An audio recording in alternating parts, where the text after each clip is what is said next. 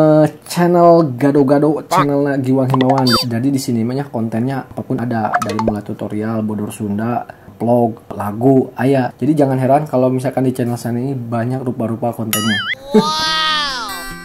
Hai, jumpa lagi bersama gua Giwang Himawan dalam tutorial.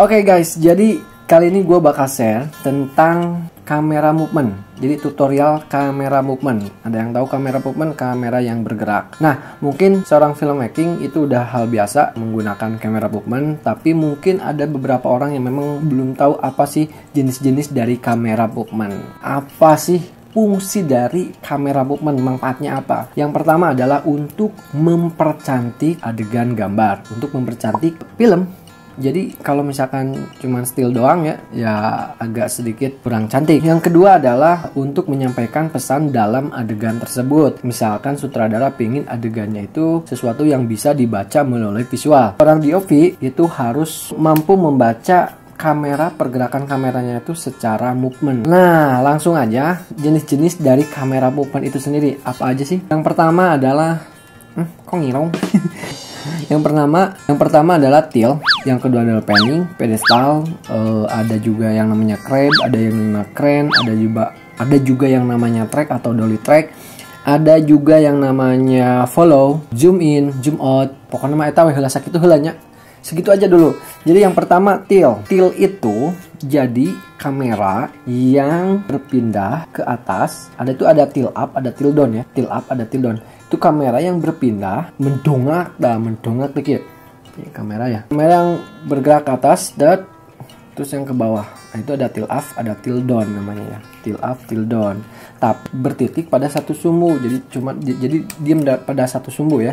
Tak tak tilt up tilt down e, biasanya motivasinya itu adalah biasanya sutradara itu pengen si adegan subjeknya itu turun dari atas tangga. Misalkan di atas tangga lalu atau misalkan e, naik ke atas tangga itu bisa menggunakan tilt up tilt down e, itu sebenarnya tilt up tilt down itu bisa juga dikolaborasikan dengan e, atau dipadukan dengan e, kamera movement lain misalkan tilt up tilt down dengan menggunakan crab atau misalkan dengan menggunakan fanning itu bisa kamera movement atau misalkan dengan follow jadi saling mengikuti oke okay?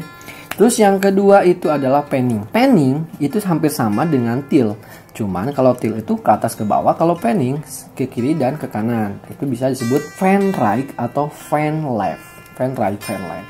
Nah, motivasinya apa? Biasanya kalau kalian menggunakan satu kamera biar tidak terlalu banyak terlalu menggunakan banyak kamera, kalau melihat subjek berdialog secara pingpong itu bisa menggunakan dengan teknik fanning. Jadi kalau misalkan ada subjek lagi bicara pada lawan mainnya, itu bisa menggunakan fanning tak eh nah mana emang gitu weh Aiman tuh gitu Aiman maling. Aiman maling. Nah juga gitulah. Jadi tok tak pingpong bisa menggunakan dengan satu kamera nggak usah dengan dua kamera. Nah itu bisa juga menunjukkan perspektifnya biar satu uh, front ground dan backgroundnya itu masih satu settingan. Terus yang selanjutnya adalah pedestal. Pedestal itu jadi hampir sama dengan til. Kalau til itu bertitik pada satu tumbuh ya. Kan bertitik pada satu sumbu kalau til tilt up tilt down nah kalau pedestal itu si kameranya itu ikut naik kalau ya naik uh, gitu ya nah ikut naik. Kalau pedestal itu lebih kerasa ya antara front ground dan backgroundnya itu lebih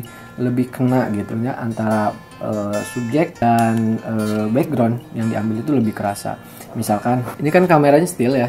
Kalau ini subjek yang ini subjek yang apa namanya yang uh, gerak. Nah, kalau misalkan kameranya ikut bergerak, nah bisa juga untuk menyampaikan pesan uh, dalam adegan tersebut, misalkan ke lagi mengagetkan, nah, nggak ada ruas atau misalkan ke jeruk bagi kok. Nah, jika seperti itulah ya, jika jika jika gitu tak jadi itu menampilkan pesan-pesan yang ada di adegan tersebut. Dari sisi motivasinya. Ada motivasi ya? Memang ada. Kalau misalkan sebuah adegan film gak ada motivasinya ya buat apa gitu. Lanjut nama device-nya itu ada khusus kalau pedestal. Device-nya itu yaitu pedestal sih nama sama. Uh, kalau misalkan kalian pernah lihat di studio-studio TV itu ada gede alatnya kalau misalkan kalian nggak punya track kalian bisa menggunakan tripod yang tripodnya seperti ini Nah selanjutnya adalah crab. Crab itu kepiting. Nah kalau crab itu hampir sama dengan pedestal. Kalau pedestal itu kan kameranya ikut gerak ya atas naik. Cuman kalau pedestal naik atas turun. Kalau crab itu samping kiri atau kanan. Ini hampir sama crab itu dengan tracking track ya. E, pakai dolly track. Jadi bisa kanan bisa kiri. Itu crab namanya crab kalau ke kanan ke kiri. Yang selanjutnya adalah crane. Crane ya crane Keren itu eh, pengambilan gambar di atas subjek. Jadi pengambilan gambar itu di atas subjek biasanya dengan menggunakan crane up atau crane up atau crane out ya. Jadi eh, pengambilan kameranya itu di tepat di atas eh, kepala subjek atau di atas eh, subjek dari atas. Nah itu nama nama device-nya itu namanya Jimmy Jeep.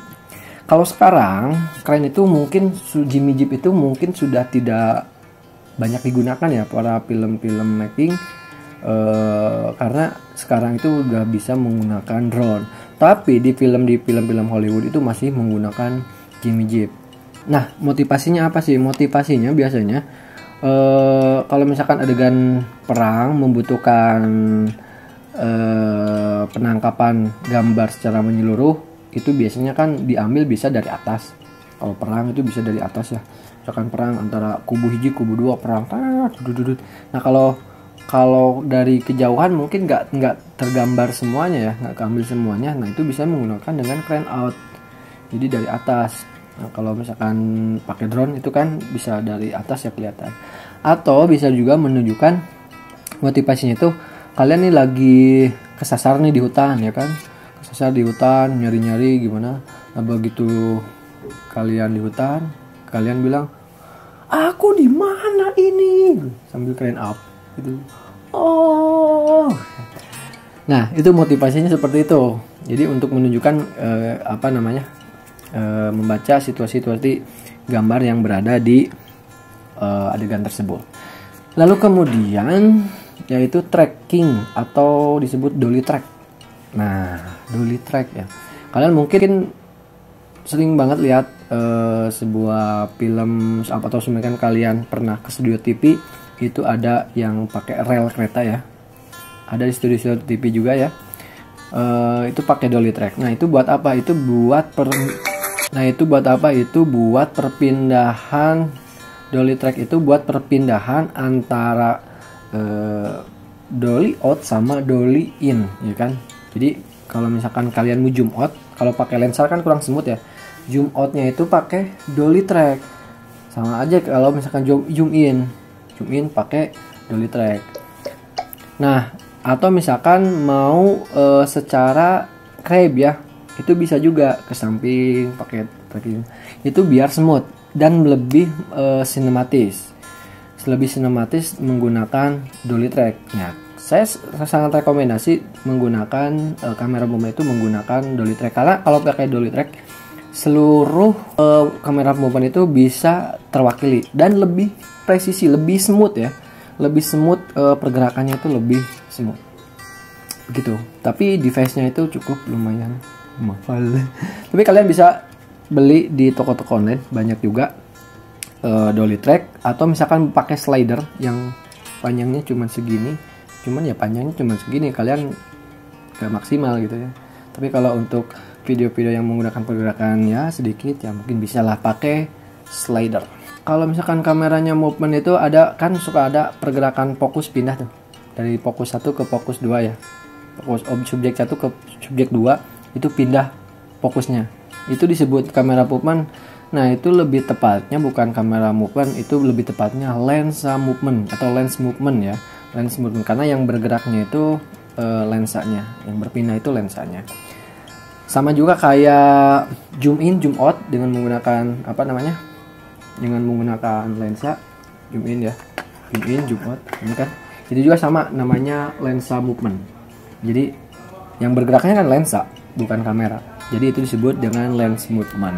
Apakah setiap adegan film itu harus kamera movement? Oh tidak. Kalau sebuah adegan itu bisa disampaikan uh, melalui kamera still ya kamera diam ya kenapa enggak? Daripada misalkan kalian butuh adegannya memang harus diam kaliannya movement. Daripada nggak ada motivasi sama sekali itu bikin film kalian lebih lebih nggak baik daripada daripada nggak ada artinya sama sekali. Kalau misalkan dibutuhkannya diam untuk still pakai tripod cuma dia ya udah pakai pakai uh, diam aja nggak usah pakai kamera movement hal selanjutnya adalah follow. Follow itu mengikuti jadi kamera yang bergerak terus mengikuti si subjek. Ya kan? Mengikuti si subjek terus ke mana-mana pun ikut terus si subjek. Nah biasanya kalau follow fokus itu biasanya menggunakan biar stabil ya biar steady biar nggak tremor uh, itu biasanya menggunakan gimbal stabilizer atau stabilizer atau steadicam. Menggunakan steadicam. Jadi kalau misalkan follow follow fokus ini bisa menggunakan steadicam. Ini kalau misalkan kalian nggak kuat kalau sering tremor ini ada alatnya ke sini ya. Alatnya jadi ininya nggak usah jadi e, tertahan. Jadi kalian cuma pegang ini ini juga ada apa namanya ada teknik khusus untuk belajar. Nah ada juga yang sekarang itu kan udah banyak e, gimbal elektrik ya. E, stabilizer elektrik. Nah seperti yang ini yang pernah gue gunain. Nah itu lebih lebih lebih smooth juga untuk mengejar subjek. Apalagi kalau adegannya berlari diikutin dengan kamera nah itu cocok untuk stabilizer elektrik. Gue lebih senang dengan stabilizer manual untuk melatih tangan biar nggak terlalu tremor. Nah apakah setiap pengambilan kamera itu harus smooth harus stabil? Nggak juga. Kadang-kadang mengambil gambar dengan shake itu juga ada fungsinya juga ada dan ada motivasinya juga. Nah dengan cara kamera shaky itu juga ada shaky shaky tapi juga terlalu begitu shaky juga. Ya biasanya kalau misalkan orang lagi marah lagi perang atau misalkan lagi adegan film action lagi berantem itu biasanya menggunakan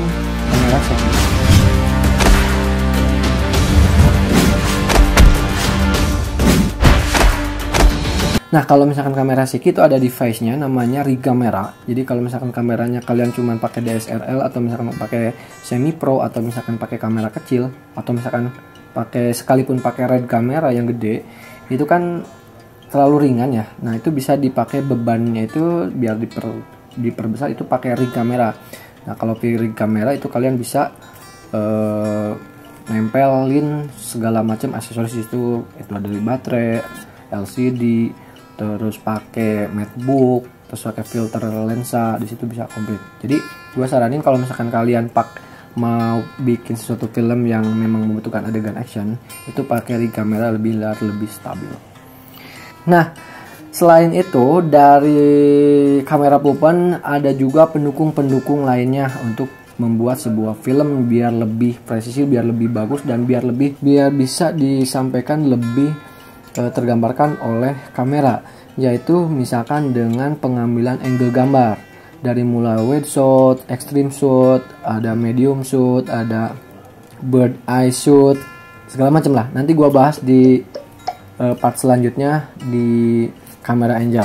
Nah, mungkin itu saja video dari gua. Mudah-mudahan ini bermanfaat dan jangan lupa subscribe share and like dan tinggalkan jejak di kolom komentar apabila ada yang kurang begitu dipahami dan ada masukan lain silahkan tinggalkan jejak di kolom komentar gua Gilang Himawan bye bye